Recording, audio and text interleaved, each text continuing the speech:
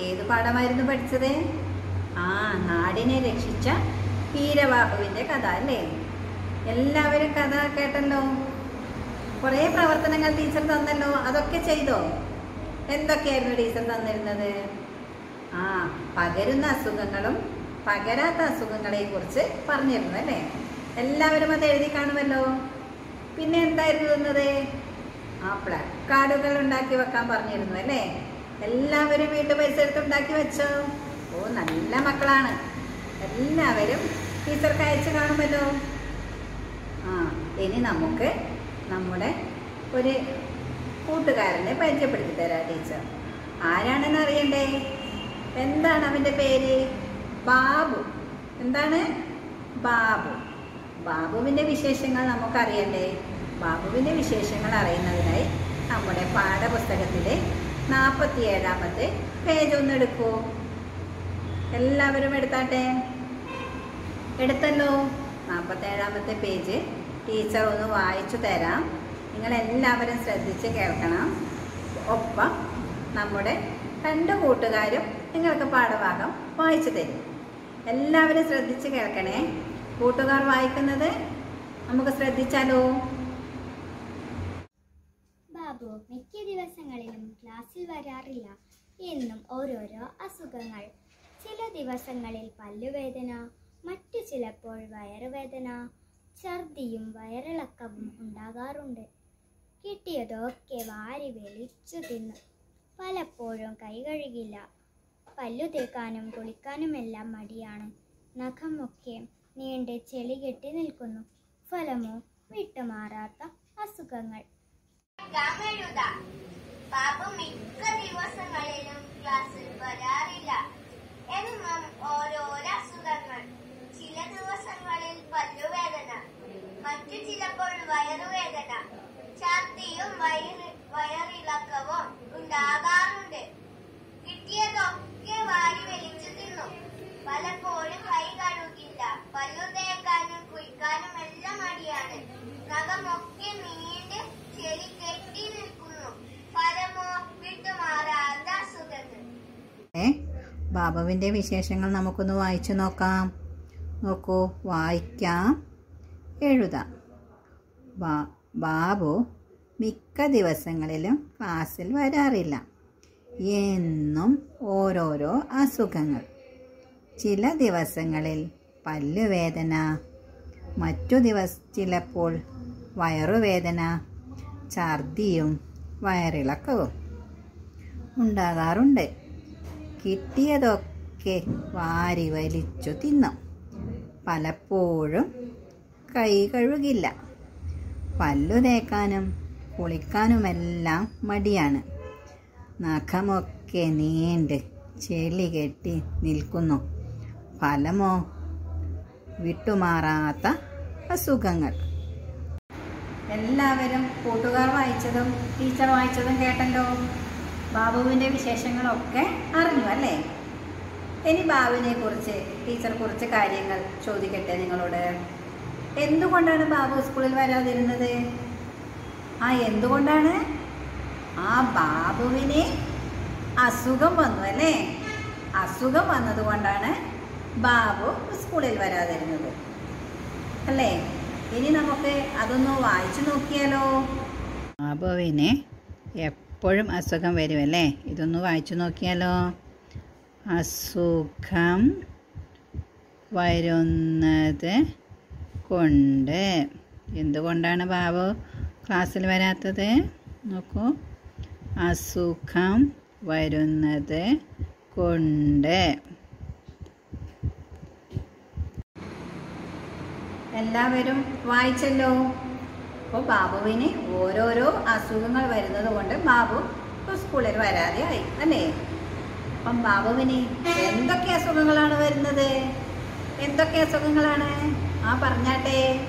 ആ ഛർദി പിന്നെ വയറുവേദന പിന്നെ വയറിളക്കം അല്ലേ? ഇങ്ങനെ പല പല അസുഖങ്ങളും ബാബുവിന് വരുന്നുണ്ടല്ലേ എന്തൊക്കെയാണെന്ന് ഒന്നുകൂടി പറഞ്ഞാട്ടെ? ഛർദി വയറുവേദന വയറിളക്കം ഇത് നമുക്കൊന്ന് വായിച്ചു നോക്കിയാലോ? ഇനി എന്തൊക്കെ അസുഖങ്ങളാണ് വരുന്നതെന്ന് നോക്കൂ. വയറുവേദന ഛർദി വയറിളക്കം. എന്തൊക്കെ അസുഖങ്ങളാണ് വന്നത്? വയറുവേദന ഛർദി വയറിളക്കം. നഖങ്ങൾ എന്തു ചെയ്യണമെന്നാണ് പറഞ്ഞത്? വിരവാക്കു വൈദ്യ രാജാവിനോട് പറഞ്ഞല്ലോ. ആ എന്തു ചെയ്യണമെന്നാണ്? നഖങ്ങൾ വളരുമ്പോൾ മുറിക്കണം അല്ലേ? നഖങ്ങൾ വളർന്നു വരുമ്പോൾ മുറിക്കണം എന്നാണ് പറഞ്ഞത്. നിങ്ങൾ എല്ലാവരും നഖം മുറിക്കാറില്ലേ? മുറിക്കാറുണ്ട് അല്ലേ എല്ലാവരും കൈയൊന്ന് ഉയർത്തി കാണിച്ചേ. നഖങ്ങളൊക്കെ മുറിച്ചിട്ടുണ്ടോ എന്ന് ടീച്ചർ ഒന്ന് കാണട്ടെ. ഓ എല്ലാവരും നഖങ്ങൾ മുറിച്ചിട്ടുണ്ടല്ലോ. നല്ല മക്കളാണ്. അപ്പോൾ എല്ലാവരും നഖങ്ങൾ വളരുമ്പോൾ കുറിക്കണം അതാണ് രാജാവിനോടും വീരവാക്കു വൈദ്യർ പറഞ്ഞത്. നമുക്ക് അതൊന്ന് വായിച്ചു നോക്കിയാലോ? നഖങ്ങൾ വളരുമ്പോൾ മുറിക്കണം. എന്താണ്? നഖങ്ങൾ വളരുമ്പോൾ മുറിക്കണം. ബാബുവിന് എന്തുകൊണ്ടാണ് അസുഖങ്ങൾ വരുന്നത് മക്കളെ? ആ എന്തുകൊണ്ടാണ്? ആ ബാബുവിന് എപ്പോഴും ഇങ്ങനെ വാരി വലിച്ച് ഭക്ഷണം കഴിക്കണം അല്ലേ? എന്താണ്? വാരി വലിച്ച് തിന്നണം. പിന്നെ കൈയൊന്നും കഴുകാറില്ല. പല്ല് തേക്കാറില്ല. മിക്കപ്പോഴും മാത്രമേ കുളിക്കാറുള്ളൂ അല്ലേ? അങ്ങനെ വൃത്തിയില്ലാതെ നടന്നിട്ടാണ് ബാബുവിന് അസുഖം വരുന്നത്.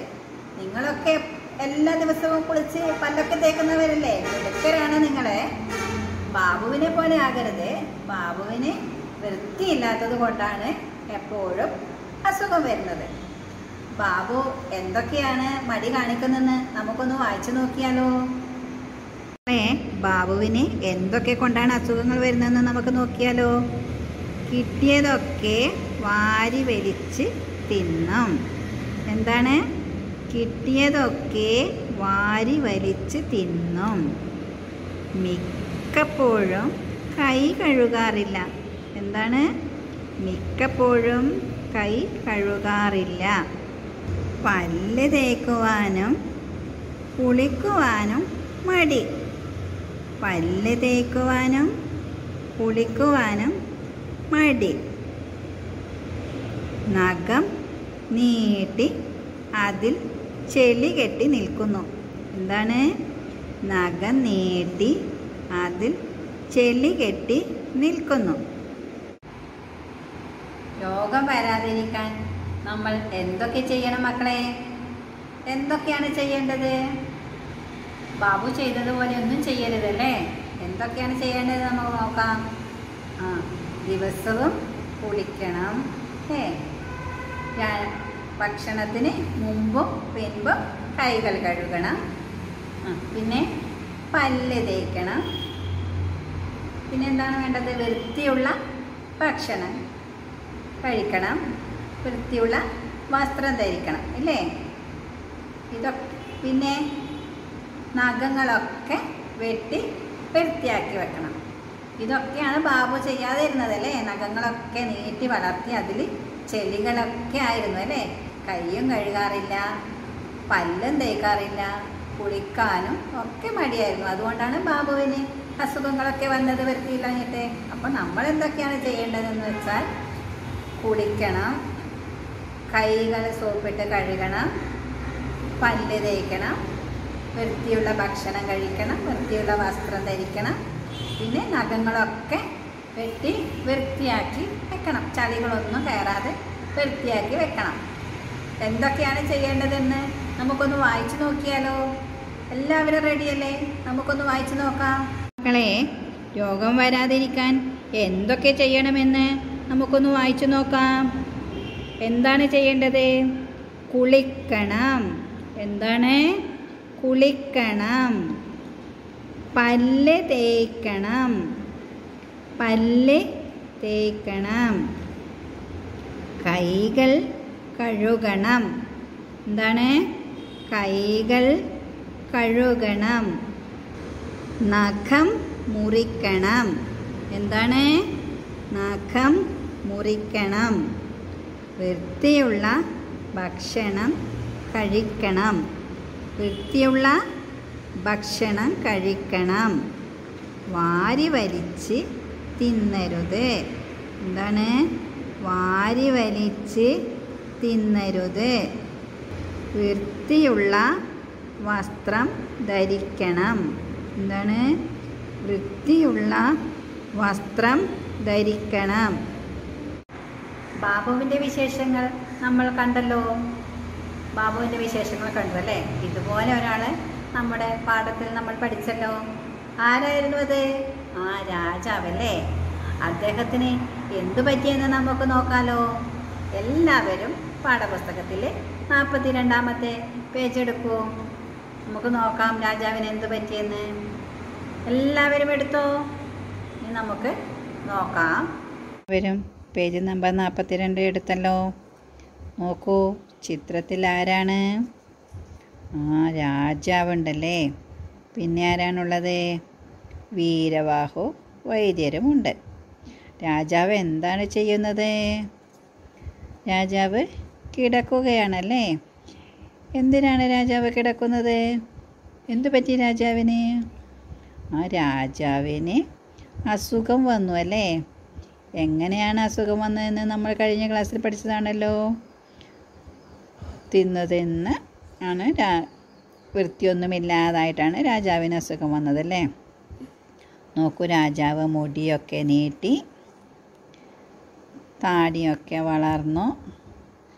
പിന്നെ മീശയൊക്കെ വളർത്തി കയ്യിൽ നഖമൊക്കെ വളർന്നിരിക്കുന്നു രാജാവിന്. കണ്ടില്ലേ എല്ലാവരും? നമ്മൾ കണ്ടല്ലോ രാജാവ് കിടപ്പിലായി അല്ലേ? എന്തുകൊണ്ടാണ് രാജാവ് കിടപ്പിലായത്? ആ എന്തുകൊണ്ടാണ്? വാരി വലിച്ച് തിന്നതുകൊണ്ടാണ് രാജാവ് കിടപ്പിലായത് അല്ലേ? വൃത്തിയൊന്നുമില്ലാതെ കയ്യിൽ ബാബുവിനെ പോലെ നഖമൊക്കെ നീട്ടി വളർത്തി അല്ലേ? താടിയൊക്കെ വന്നു. രോഗത്തിന്റെ പോലെ കിടപ്പിലായി. തടിയൊക്കെ കൂടി കൊണ്ണത്തടിയൊക്കെ ആയി രാജാവ് കിടപ്പിലായി അല്ലേ? രാജാവിന് ഉറക്കമൊന്നും ഇല്ലാതായി. കിടപ്പിലായണല്ലോ രാജാവ്. ഉറക്കമൊന്നും ഇല്ലാതായപ്പോൾ ആര് വന്നിരുന്നു? നമ്മൾ കഴിഞ്ഞ ക്ലാസ്സിൽ വായിച്ചതാണല്ലോ. വീരബാബു വൈദ്യര് വന്നെത്തി അല്ലേ? അദ്ദേഹം എന്തായിരിക്കും രാജാവിനോട് രോഗം മാറാൻ പറഞ്ഞിട്ടുണ്ടാവുക? എന്തായിരിക്കും? നമുക്ക് പാഠഭാഗം ഒന്ന് വായിച്ചു നോക്കിയാലോ? നമ്മുടെ പാഠപുസ്തകത്തിലെ പേജ് നമ്പർ നാൽപ്പത്തി മൂന്ന് നമുക്കൊന്ന് വായിച്ചു നോക്കാം. എല്ലാവരും പാഠപുസ്തകം എടുക്കൂ. പേജ് നമ്പർ നാൽപ്പത്തി മൂന്ന് എല്ലാവരും ശ്രദ്ധിച്ചിരിക്കണേ. ടീച്ചർ വായിക്കുകയാണ്. രണ്ടു നേരം കുളിക്കണം. പല്ലു നിത്യം തേച്ചിടേണം. നഖങ്ങൾ വളർന്നിടുമ്പോൾ മുറിച്ചിടേണം. എന്താ ചെയ്യാമോ? വീരവാഹു ചോദിച്ചു. രാജാവ് തലകുലുക്കി സമ്മതിച്ചു. മാസം ഒന്നു കഴിഞ്ഞു. മരുന്നു കഴിച്ചിട്ടും ശരീരം വൃത്തിയാക്കിയിട്ടും അസുഖം പൂർണമായി മാറിയില്ല. ഇനി എന്തു ചെയ്യും? വീരവാഹു വീണ്ടും വന്നു. മണ്ണു നന്നായി കിളയ്ക്കണം വിത്തെടുത്തു വിതയ്ക്കണം. ദേഹം വിയർത്തിടും വരെ വേല ചെയ്യണം.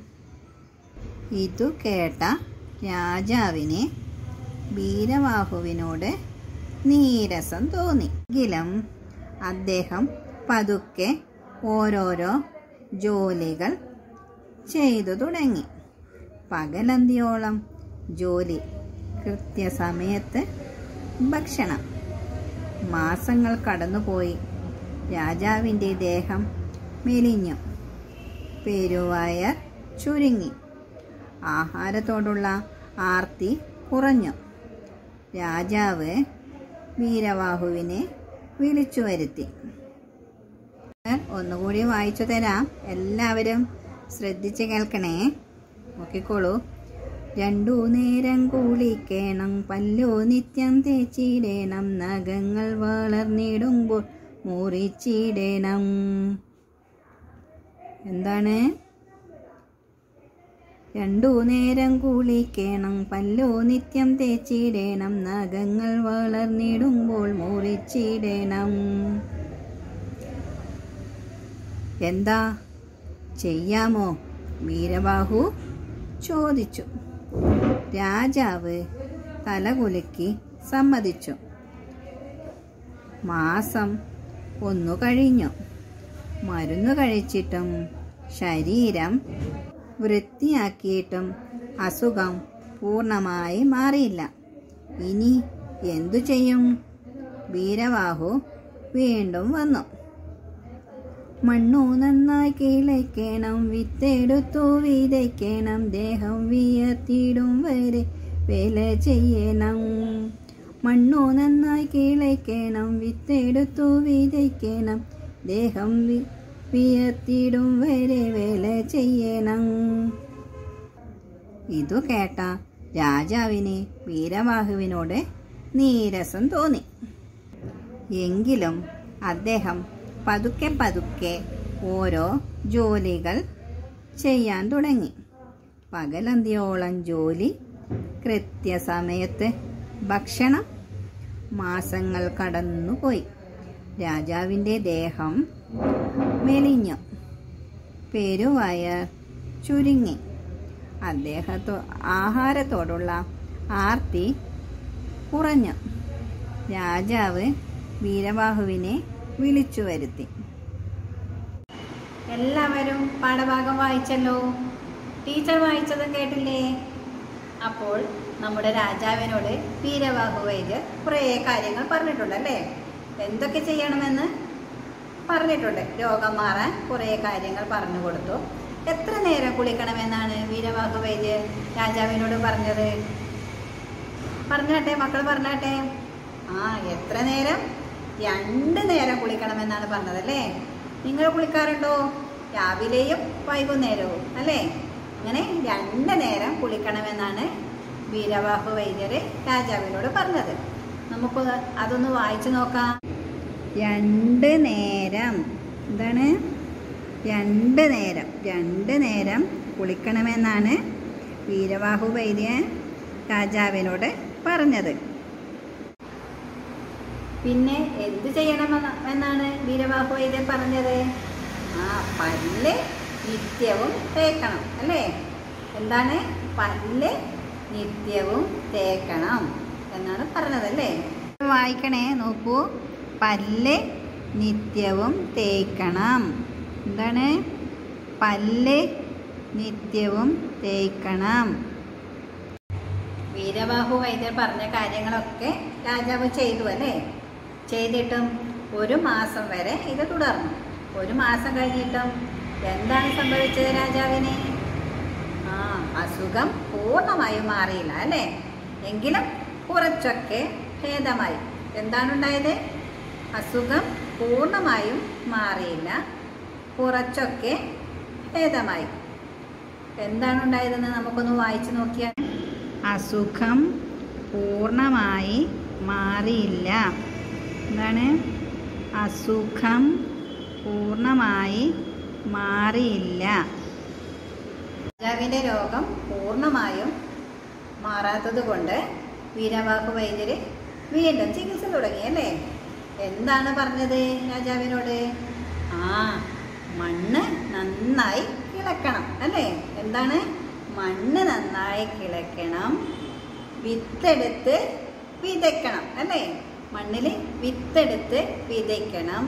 പിന്നെ ദേഹം വിയർത്തിടം വരെ വേല ചെയ്യണം. എന്താണ്? ദേഹം വിയർത്തിടം വരെ വേല ചെയ്യണം. ഇതൊക്കെയാണ് വീരവാഹു വൈദ്യരെ രാജാവിനോട് പറഞ്ഞത്. അത് നമുക്ക് ഒന്നുകൂടി വായിച്ചു നോക്കിയാലോ? ഇവർ രാജാവിനോട് എന്താണ് പറഞ്ഞതെന്ന് നമുക്കൊന്ന് വായിച്ചു നോക്കിയാലോ? മണ്ണു നന്നായി കിളയ്ക്കണം. വിത്തെടുത്തു വിതയ്ക്കണം. ദേഹം വിയർത്തിടും വരെ വേല ചെയ്യണം. എന്താണ് പറഞ്ഞത്? മണ്ണ് നന്നായി കിളയ്ക്കണം. വിത്തെടുത്തു വിതയ്ക്കണം. ദേഹം വിയർത്തിടും വരെ വേല ചെയ്യണം.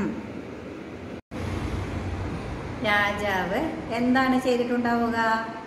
ആ രാജാവ് പതുക്കെ പതുക്കെ ജോലികളൊക്കെ ചെയ്യാൻ തുടങ്ങി അല്ലേ?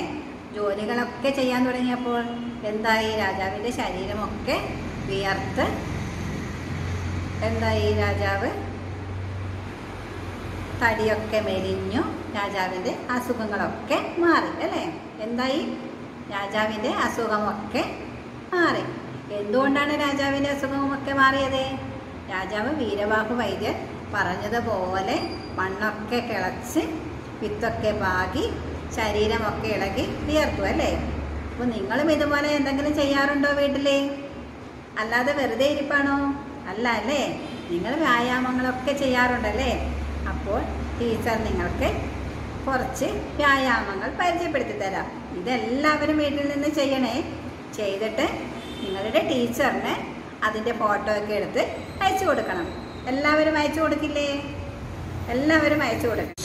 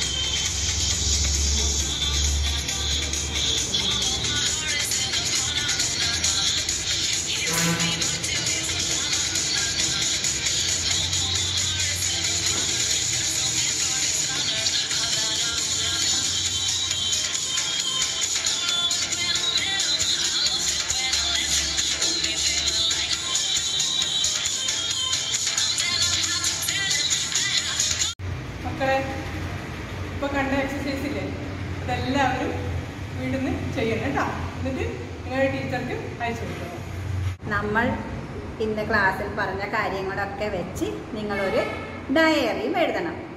ഡയറി എഴുതിയിട്ട് എന്ത് ചെയ്യണം? ടീച്ചറിന് അയച്ചു കൊടുക്കണം. ടീച്ചർ അടുത്ത ക്ലാസ്സിൽ ഡയറി ചോദിക്കും. എല്ലാവരും ഡയറി എഴുതണേ. അപ്പോൾ നമുക്കിനി അടുത്ത ക്ലാസ്സിൽ കാണാം. ബായ്